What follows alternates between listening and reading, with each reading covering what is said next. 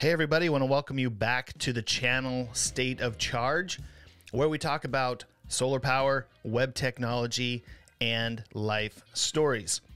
Now, if this is something that is interesting to you, please go ahead and like and subscribe, hit that bell to be notified. For those of you that are coming back, thank you so much for coming back again. And for those of you that might be new to the channel, I hope this content is relevant to you. Now, a couple weeks ago, we did some videos on Lightsail and WordPress and load balancers and all kinds of information was given in those videos. I would really encourage you to check those out. It's it's helped me out as I was doing it, and hopefully it, it'll help you guys out if you're looking to use Lightsail for any of your WordPress hosting and development. And so in this video, I thought I would go ahead and show you how to do and install HTTPS, a digital certificate, using Let's Encrypt right through the Bitnami WordPress stack. And I'm going to show you how easy it is to get your site secure so that you have a secure connection to your site and all of your assets. So before we dive into that, there's a couple assumptions. One is you have a Lightsail account and you already have a Bitnami WordPress stack created.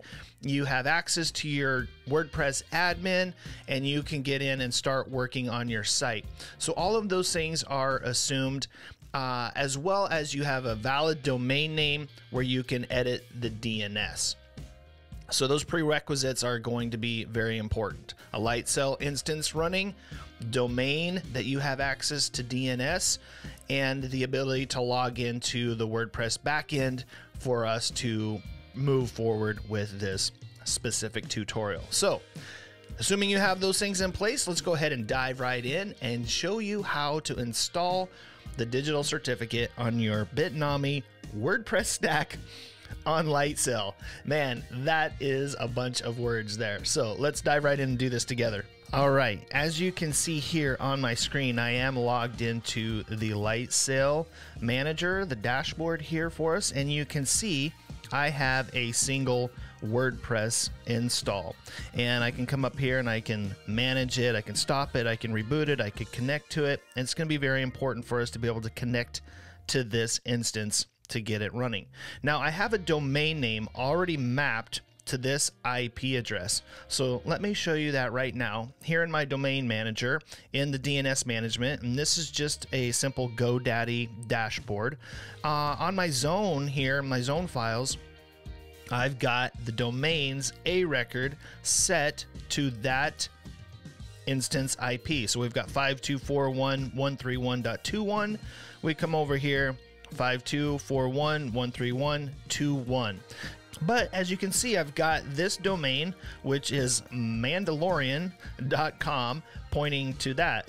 So if I come over here to this last tab and I look at Mandalorian.com, you can see that I have it up and running and it is working on that WordPress instance. Now, for the sake of this demo, I'm not going to be doing any design, any themes, any layout.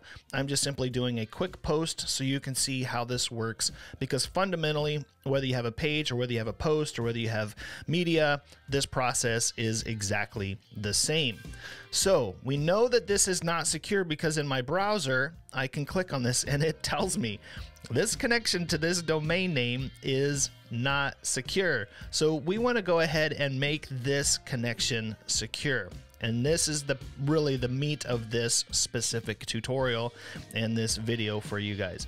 So what we want to do, again, double check that your domain is pointing to the IP address. And we know that it is because we can come up here and we can actually visit the URL and we see that taking place. Let's go ahead and get back into the dashboard so we have access to that. One quick thing that I want to show you here, especially with WordPress Bitnami stacks, um, as you come in here to general, you notice that this URL here is is grayed out. So this is intentional. This is how Bitnami decided to do the WordPress install uh, on on Lightsail, but it's very easy to edit this, and I'm going to show you because we do want to make sure that this also shows HTTPS once we have everything installed and we have everything running securely on the server. So without further ado, here we're going to come over here to the Lightsail home and this specific instance, and we are going to click on the connect icon. And this is just bringing up an SSH terminal and you can get your login screen there. Now, once that you're here, this is going to give you some tools right off of the bat.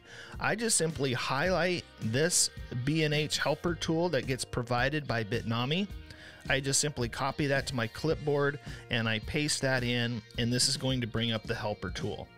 And you can remove the Bitnami banner, you can set up Let's Encrypt, and you can manage and do any of the other uh, things that you might want to do here. The support tool is very um, easy to set up a support ticket if you're running into problems, but let's just go ahead and let's set up Let's Encrypt. So I click on that and I just simply hit return, and this is going to execute the um, SSL tool for us. So this is the HTTP configuration tool. So what you're going to want to do is you type in your domain as well as a space and then www your domain name and then hit return. What this is going to do is this is going to do a reverse lookup to make sure that that domain is pointing to the internal IP or pointing to the IP address of this server. So yes, we do want to enable HTTP to HTTP redirect. So we're going to type in capital Y there. Now, this is a personal preference. This is not something that you have to necessarily do if it's not your preference, but I don't like to have www always in the front of my domain name. It's not necessary. So when this says enable non www W to www direction, that just means that if you type in example.com, your browser is going to redirect to www.example.com. We don't necessarily need that, at least that's in my opinion. So I hit no on that. I don't want that redirection. But on the flip side, I would like it so that if you type in www.example.com, that it redirects you to simply example.com. And so on this one, I hit the uppercase N for that. Again, that's personal preference. And this is going to be the things that I want you to look at here when we're installing this. It's it's going to stop the web server. It's going to configure the web server to use the free Let's Encrypt certificate for the domain. And it's going to configure a cron job to automatically renew the certificate each month. That is very, very important and very, very convenient. So this cron is going to check if the domain is still active to that IP address, and it's going to renew that SSL every month. That is very, very cool. Then it's going to configure the web server. It's going to enable HTTPS redirection, and it's going to then start the server once all of these changes have been performed. And so then we need to agree to those changes. So yes, let's go ahead and agree to those changes. And then from here, there are um, some email information that they might want to send you if perhaps it doesn't install correctly or it doesn't renew correctly. Here you're going to enter in your email address and you are going to agree to the subscriber agreement and this is going to take a little bit of time to perform the necessary actions to the Bitnami installation. So this might take some time. Let's be patient. We'll go ahead and pause the video and come back as soon as this has been done. All right, so success. The Bitnami HTTPS configuration tool succeeded in modifying our installation, and it gives you where those HTTP comp files were backed up and then created for the HTTPS. Well, let's go ahead and hit enter to continue. And let's get back to the main screen here. We can hit quit. And now this just takes us back to the default SSH terminal screen. So I'm going to go ahead and close that down now. So what we should be able to see now is when we go back to our website and we should see this auto redirect for us now. And sure enough, it did. So we can see that we have a lock, right? So we know that this has been re uh, directed to an HTTPS. We can look at the certificate. So as you can see, we have a valid certificate and this website is secure. All right, now that we have verified that our digital certificate is secure and the site is running with a valid lock key, what I like to do is I like to go back to my dashboard here and it's going to have you log back in because it did redirect. And so let's go ahead and log in. When we go to the settings, if you remember, we looked at the general, we still have this HTTP here. So this can create some problems, especially with your media assets, because it still thinks that it's HTTP. Now, why is that? Because we did configure the Lightsail server. We do we can come over to the domain and we can visit the site and we do see the automatic redirect. But why is it that when we go to the dashboard, we look at settings, we still have this showing HTTP? The reason why this is happening is because this is hard coded into the config file with WordPress.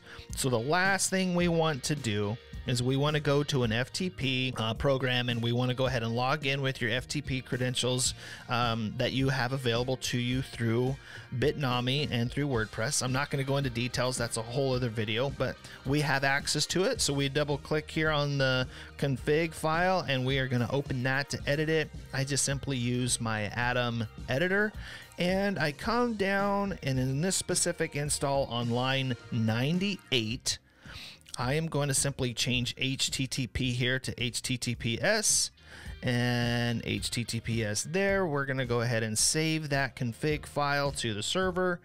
And let's go back to our dashboard here. Let's refresh the settings. And let's see what happens here. All right, as you can see, HTTPS. So now all of our settings all of our media assets, all of our pages, all of our posts are going to be referencing HTTPS. And now your site is fully secure and ready to go for all of your visitors to enjoy. So, I hope that this crash course in SSL installation on the Bitnami WordPress stack with Lightsail was beneficial to you. I use this every single day uh, and do this uh, so that my client sites are secure. If you ever need any help or have any comments, please post below. I'm here to assist, and I want to thank you for watching today. And it is towards the end of the year 2020, and so happy new year to everybody. May 2021 treat you better. Thanks for watching, and we'll talk soon. Bye.